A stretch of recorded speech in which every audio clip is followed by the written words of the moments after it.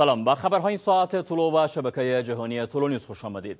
امروز شنبه 22 ماه دلو سال 1390 هجری خورشیدی است که برابر می شود با 11 ماه فبروری سال 2012 میلادی. در آغاز سرخط چند خبر. متهم شدن وزیر امور مهاجرین عودت کنندگان و گماشتن شمار از نزدیکانش به حیث مشاوران ارشد.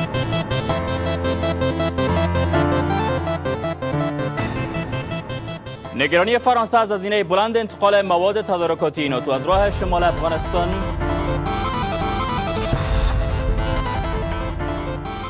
و تاکید رئیس جمهوری ایران بر ادامه فعالیت های این کشور.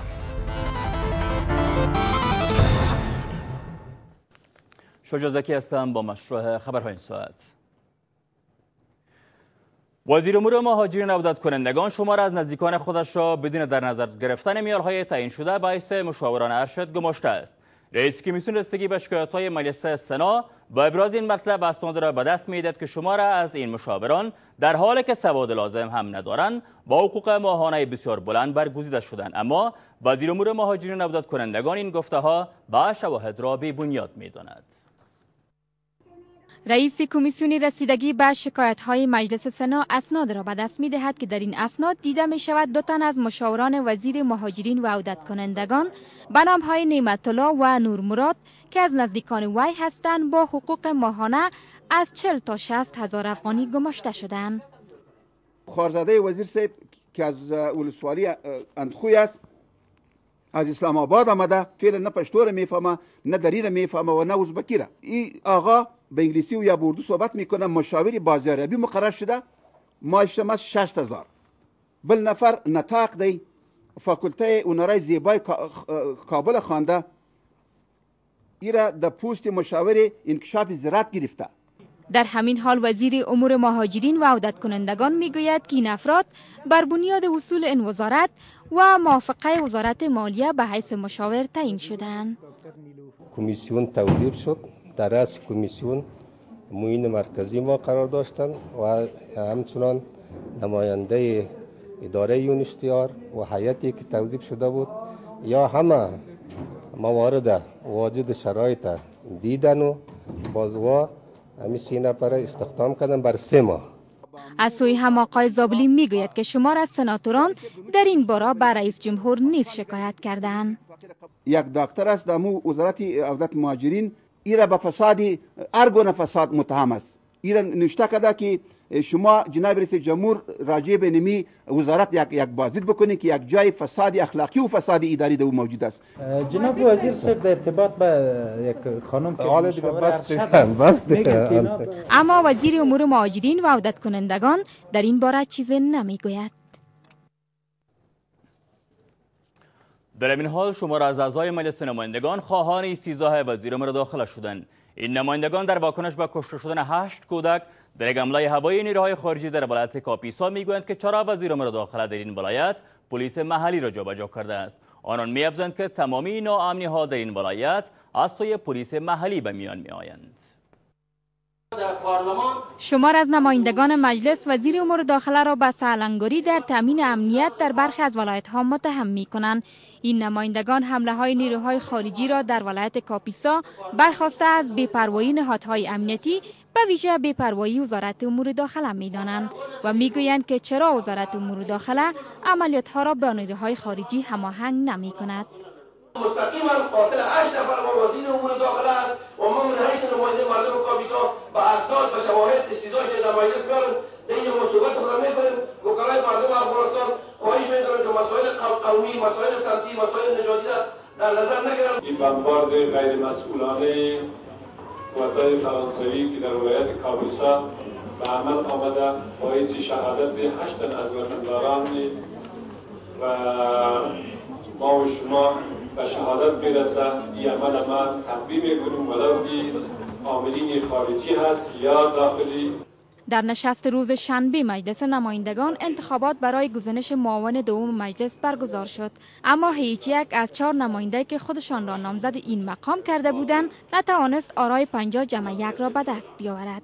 سرانجام فیصله شد که در این باره به روز یک شنبه تصمیم نهایی گرفته شود. هزینه بلند انتقال مواد تدارکاتی ناتو از راه شمال افغانستان فرانسه را نگران ساخته است. وزیر دفاع فرانسه انتقال مواد تدارکاتی ناتو از خاک پاکستان و افغانستان بسیار مناسب و کم هزینه می‌داند. در این حال سخنگوی آیساف می‌گوید که نیروهای خارجی در افغانستان به انتقال مواد تدارکاتیشان از خاک پاکستان هیچ بستگی ندارد و ادامه بسته بودن این راه سوی پاکستان هیچ اثر بر مأموریت نیروهای خارجی در افغانستان نخواهد داشت. به نظر می رسد که تلاش های واشنگتن برای بازگشایی راه های تدارکاتی ناتو از خاک پاکستان هنوز هم نتیجه در پی نداشته است چنان که فرانسه در صورت ادامه این تصمیم اسلام آباد از بالا گرفتن هزینه مأموریت نیروهای خارجی در افغانستان نگران است انتقال مواد تدارکاتی ناتو از طریق ازبکستان بسیار پرهزینه تمام می شود. به خاطر انتقال مواد تدارکاتی ناتو به افغانستان، گفتگوها درباره استفاده از راههای شمال با ازبکستان و تاجیکستان ادامه دارند. اما سوی دیگر آیسف از ادامه بسته بودن این راه نگران به نظر نمی رسد. از دو ماه بدین سو راه های تدارکاتی ناتو از خاک پاکستان بسته شدند. ما تنها در هفته های نخست با چالش های روبرو بودیم. اکنون آن روزها سپری شدند. آیسف نظام تدارکاتیش را تغییر داد و اکنون وضعیت تدارکاتی ما مسئول است. ظاهرا این همه تنش میان واشنگتن و اسلام آباد پس از حمله بر همین بخش از پاکستان اوج گرفت. آگاهان به این باورند که این حمله دستاویز برای مقام های پاکستانی شد تا به این بهانه بر شدت عمل خود در برابر امریکا بیافزایند و امتیازگیری کنند. گفتگو با طالبان پس از ده سال جنگ به معنای مشروعیت بخشیدن به افرادگرایی است. در گزارش وال استریت ژورنال آمده است که گفتگو با طالبان زمینه را برای بیرون شدن نیروهای خارجی از افغانستان فراهم می سازد اما ثبات را در این کشور تامین کردن نمی تواند این گزارش می نگارد که طالبان با پشتیبانی پاکستان توانستند جنگ را در افغانستان به درازا بکشند بر بنیاد این گزارش طالبان و پاکستان به نتایج مثبت گفتگوها دلبستگی ندارند. در این گزارش وال استریت ژورنال از گفتگوهای امریکا با طالبان و چگونگی موضعگیری حکومت افغانستان و مخالفان طالبان یک تحلیل کلی شده است. این گزارش می نگارد که آغاز گفتگوهای امریکا با طالبان نمادی از شکست است نه نشانه پیروزی. این گزارش می‌گوید بانک بیشتر افغانان مخالف افرادگرایی هستند و واشنگتن باید از آنان پشتیبانی کند و نباید به آنان خیانت ورزد اما گفتگوهای امریکا با طالبان به معنای مشروعیت بخشیدن به افرادگرایی است در بخشی از این گزارش گفته شده است که طالبان توانستند با پشتیبانی پاکستان یک بنبست راهبردی را به میان آورند و این بنبست به علت بیعلاقگی پاکستان در همکاری با ناتو همچنان پابرجا و نیرومند است. گزارش می نگارد که طالبان دیگر بقایشان را تضمین کردند و برای سلطه بر افغانستان خواهند جنگید و دستاوردهایی را که با آغاز گفتگوها با امریکا داشتند برای افزایش نفوذشان در افغانستان به کار خواهند گرفت. از چگونگی ناخشنودی های رئیس جمهور کرزی از ناتو و واشنگتن به علت در حاشیه ماندن حکومت افغانستان در گفتگوهای صلح نیز در این گزارش نگاشته شده است و تاکید شده است که پاکستان و طالبان در عملیاتهایشان در مقایسه با افغانستان و ناتو هماهنگتر هستند. بر بنیاد این گزارش مخالفان طالبان نیروی سومی را ایجاد کردند تا از نفوذ طالبان و افرادگرایی در کشور جلوگیری کنند. آنان دیگر رئیس جمهور کرزی و ناتو را در حفظ منافعشان متحد نمی‌دانند. این گزارش مینگارد که جامعه جهانی با انجام معامله با طالبان بدون خلق اصلاح کردن آنان امید را برای یک حکومت نیرومند و پایدار در افغانستان با شکست روبرو ساخته است. سرانجام این گزارش یگانه راه پیروزی امریکا را در جنگ افغانستان فشار آوردن بر رئیس جمهور کرزی برای پذیرفتن نقش پارلمان و اعلام آشتی ملی در افغانستان می‌دانند و هشدار می‌دهد که اگر مردم افغانستان در حاشیه قرار گیرند بینظمی های بسیاری در گستره قدرت سیاسی افغانستان رونما خواهند شد و نیز مأموریت واشنگتن با خطر روبرو خواهد شد. یک گور گروهی در شهر مزار شریف پیدا شد. این گور در جریان کار ساختمانی در منطقه کارتای زراعت. این شهر پیدا شده است و این دومین گور گروهی است که در این شهر پیدا می شود مسئول حقوق بشر در شمال کشور می‌گوید که برای شناسایی این افراد به تحقیقات نیاز است تا روشن شود که این گور از کدام دور بوده است. یکی از کارگران یک شرکت ساختمانی در مزار شریف روز گذشته هنگام کار در بخشی از کارت زراعت مزار شریف یک گور گروهی را یافته است. کارگران بدون آنکه نهادهای مسئول را آگاه سازند بقایای اجساد را به گونه خودسرانه دفن کردند. که این کار بررسی ها را در این باره دشوار ساخته است. یک یک استقانش سر دیس چیندیم جمع کردیم تفکین کردیم بردیم در قبرستان دفن کردیم. دو دانش همیشه که با خلقات نگه کشیدک اما ریسمان لیلون دم حساب گردنش بود. نمیجا کار می‌کردیم دم کار ما آمد کالا برآمد کشیدیم که استقان و سر و دیگه دم داخل. زیاد است. مسئول بخش عدالت انتقالی و حقوق بشر در شمال می‌گوید که برای شناسایی این گور گروهی به تحقیقات بیشتر نیاز است. ما نمی‌تونیم گفته که ای 800 به کدام دوره برمیگرده چون این ضرورت به ای داره که به صورت مسلکی و دقیق بررسی شوه و قبر نب شوه و آثار و شواهد و مدارکی که از اینجا به دست میه گویای از این خواهد بود که ای 800 به کدام دوره برمیگرده. وی تاکید می‌ورزد که نگهداری از گروه های گروهی و جلوگیری از نابود شدن بازمانده ها در این گروه ها از مسئولیت های پلیس است اما پلیس بلخ نتوانسته است که از انتقال بازمانده های این گروه گروهی به جای دیگر جلوگیری نماید. خواستیم در این باره نظر مسئولان پلیس بلخ را نیز داشته باشیم. اما موفق نشدیم. بیماری فلج کودکان در کشور از 25 رویداد به 81 رویداد افزایش یافته است. سخنگوی وزارت صحت ما می‌گوید که برای جلوگیری از افزایش این بیماری پیکارهای فرعی را اندازی خواهند شد و میافزاید که این بیماری بیشتر در ولایت‌های جنوب کشور که ناامن هستند افزایش داشته است. در این حال والی هلمند 19 رویداد فلج کودکان را در این ولایت نیز نگران کننده می‌داند. سخنگوی وزارت عامه افزایش بیماری فلج کودکان را در کشور نگران کننده می داند و می گوید از 81 رویداد این بیماری در سال 2011 میلادی تنها 62 رویداد آن در ولایت های کندهار، زابل و المند دیده شده اند. در حالی که این رقم در سال 2010 میلادی 25 رویداد بود.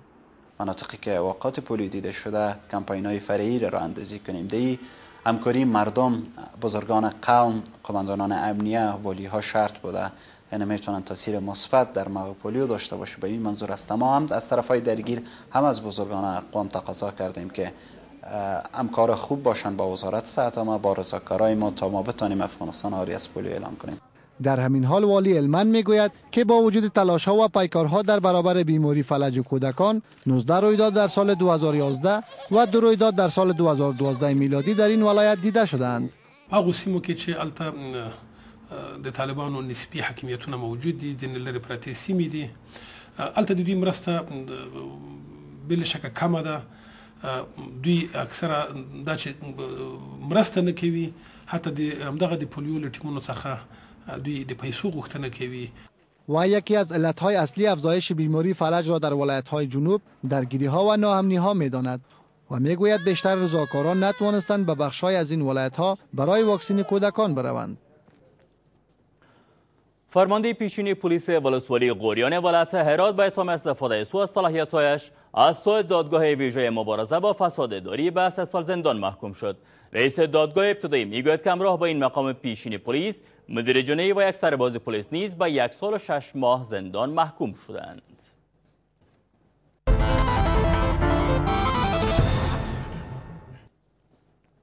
با این هم چند خبر از جهان ایران دستاوردهای هسته‌ای بسیار مهم این کشور را به زودی اعلام خواهد کرد. محمود احمدی نژاد با ابراز این مطلب بر ادامه فعالیت‌های هسته‌ای ایران تاکید می‌ورزد در این حال علی اکبر صالحی وزیر امور خارجه ایران می‌گوید که تهران در پیوند با برنامه هسته‌ایش در برابر تهدیدهای غرب تسلیم نخواهد شد.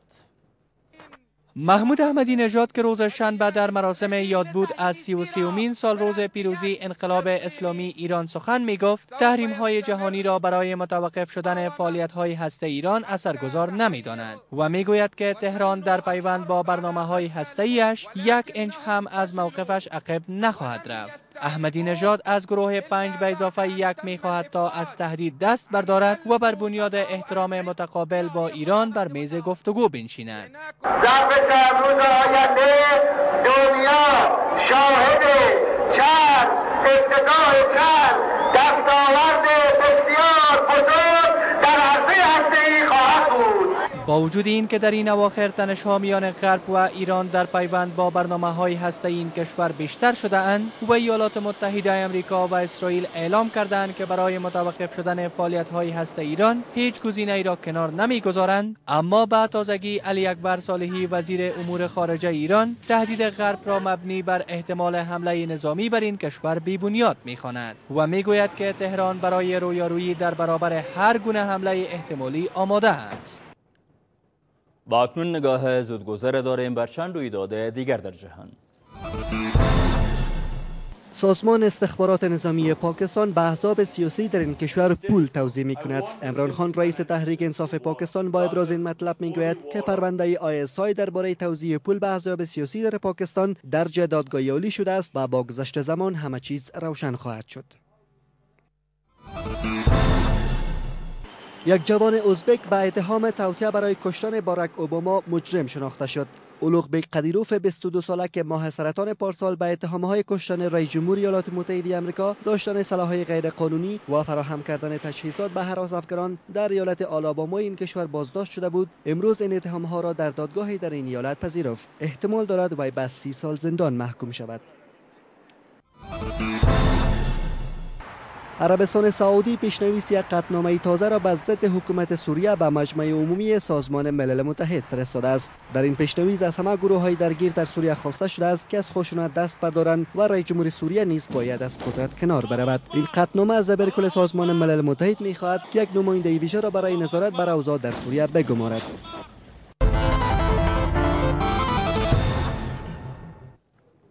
باز هم خوش آمدید و این هم چند خبر اقتصادی. حاصلات میوه و فرورده های کشاورزی در سال آینده به گونه چشمگیری افزایش خواهند یافت. وزارت زراعت آبیاری می‌گوید که برفباری های سنگین امسال در کشور سبب خواهد شد تا میوه و غله در سال آینده افزایش یابند و نیز این فرآورده ها از امراض و آفات های نباتی در امان بمانند. های سنگین امسال در کابل و 19 ولایت دیگر کشور در طول چند سال اخیر بی سابقه بوده است. اما از سوی هم باریدن این برف برای افزایش فراورده های کشاورزی باغداری و حتی نزدیک شدن افغانستان به خودکفایی از لحاظ غله نویدهای تازه به باشندگان کشور می دهد وضعیت ذخایر آب ما بهتر خواهد بود. ما سیستم های آبیاری ما را تا آخر سال انشالله فعال نگه داشته خواهیم توانست به خاطر زیبارندگی ها و همچنان اگر بارندگی برای کشت للمی هم صورت بگیره که انشالله پیش بینی همین طور هست.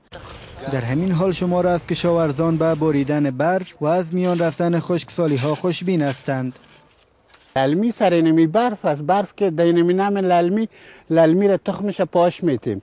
وقتی که پاش میتیم خب او را خود دیگه آب نمیته به خاطر از امون للمی گفته میشه. اونمو نم است که او را میرسانه. برای گندم برای للمی خوب بسیار مثل روغن زرد وارست در غیر از که کسایی که کشت تیرمایی می‌کنن گندم بر از بسیار مفاد داره وزارت زراعت و آبیاری تاکید می کند که باریدن برف های امسال گذشته از افزایش حاصلات کشاورزی و باغداری در رشد دامداری نیز بسیار سودمند خواهد بود.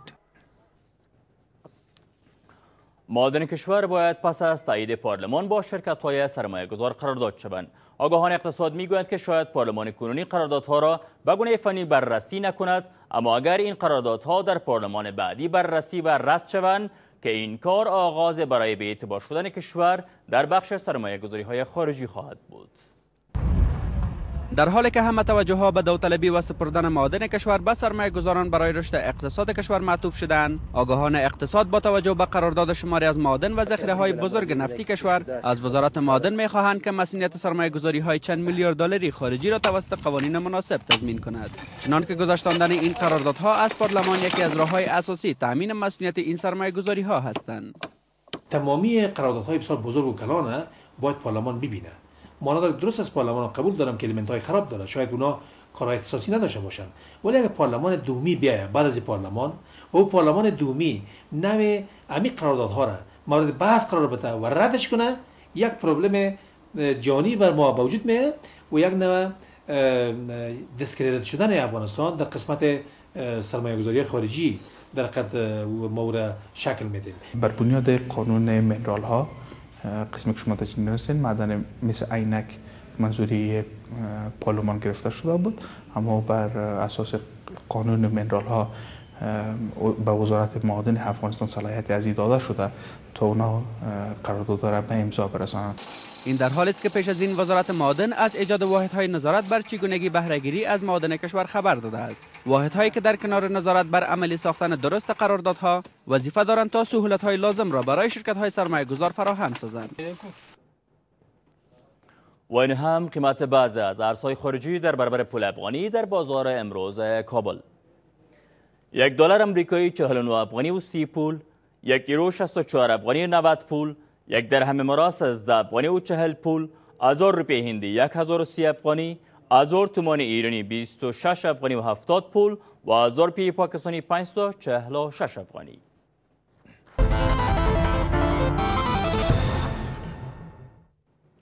با عرض سلام به رویدادهای ورزشی خوش آمدید. کمیته ملی المپیک افغانستان از پیشنهاد وزیر مالیه بر رئیس جمهور که تنها از دو ورزشی ستایش شود سخت انتقاد می کند معاون کمیته ملی المپیک افغانستان می‌گوید که پیشنهاد ستایش از ورزشکاران باید از سوی نهاد صورت گیرد نه از سوی وزیر مالیه. اما حضرت عمر زاخلوال وزیر مالیه می‌گوید که رئیس جمهور از وی خواسته بود تا برای ستایش از این درشته ورزشی اقدام کند. وزیر مالیه افغانستان در یک پیشنهاد از رئیس جمهور خواسته است تا برای هر عضو تیم‌های ملی فوتبال و کرکت 100 هزار افغانی پاداش داده شود که سوی رئیس جمهور نیز پذیرفته شده است. معاون کمیته ملی المپیک با رد گفته وزیر مالیه افغانستان می‌گوید که رئیس جمهور کرزی به وزیر مالیه هدایت داده بود تا ورزشکارانی که امسال از رقابت بیرون مرزی مدال آوردند ستایش شوند نه تنها از درشته ورزشی. اخیرا خبر شدیم که وزیر صاحب مالیه پیشنهاد دو فدراسیون که البته cricket board می باشه و فدراسیون فوتبال. من نمیفهم که شاید غلط فهمی شده باشه یا ای است که مداخله در امور کمیته ملی المپیک است دقیقا من نمیفهم. اما ما جریان با وزیر صاحب مالیه در در میان میگذاریم. ازشان پرسان میکنیم. کله چې دوی راغلل دلته رئیس سره ملاقات درلود. رئیس دوی سره د یو یو لک افغانیو د مرستې وی یا انعام وای د تشویق د پاره د دې ژمنه ورسره وکړه. نو هغه پیسې تبن هغه د یا د المپیکو یا د کرکټ په بودیجو کې هغه وجود نه لري. وزارت وزارت مالیه باید تدارک کړي چې کم ځای نه پیسې ورکړي. طبعا این کار وزارت مالیه باعث دلسردی ورزشکارا میشه اما ما این مشکلات با وزارت محترم مالیه در جریان میگذاریم. مشکل حل میکنیم و تمام لیست ورزشکارایی که در طول سال مدال گرفته ما پیشنهادش میکنیم به اداره امور. ان شاء حکم رئیس جمهور میگیریم. چون رئیس جمهور قبلا شفایی گفتن و اونا موافق هستن. رئیس جمهور هدایت کې یو کود مرتو کو چې د کود نه یو لک افغاني د سرمرسته وشي فلهذا د هیڅ نوع مداخله نه ده د خود فوتبال په ساحه کې بل ساحه کې رئیس جمهور لازمه ګڼي چې امرسته یا د انعام په شکل وشته ورکول شي وزارت مالیه په خام دا کار کړی پاینده کې کوي در این حال شماری از ورزشکاران مدال آور میگن که وزیر مالیه افغانستان با ورزشکاران برخورد دوگانه دارد. بسیار سر روحی ما تاثیر داره. خاطر که ما زحمت می‌کشیم مربی ما بالای ما زحمت می‌کشن و میریم بر مسابقات مسابقات مهم میریم و مدال می‌گیریم. و اون رقمی که ما باید تشویق شویم ولی دیگرش تشویق میشن. این ورزشکاران می‌گویند اگر این روند ادامه یابد شمار زیادی از ورزشکاران افغانستان از تیمای ملی کشور کنارگیری خواهند کرد.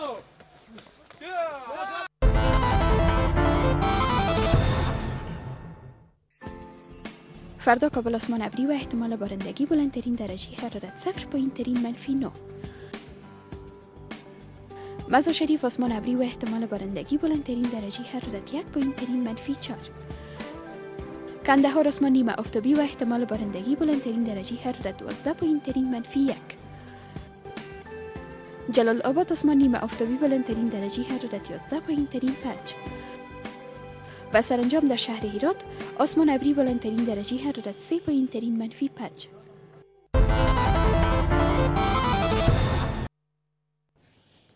این بود خبرها تا این ساعت از توجهتان جهان سپاس. از شما دعوت می کنم که با برنامه های دیدنی طلو با شبکه جهانی طلو نیوز باشید. وقت خوش خدا نگهدار.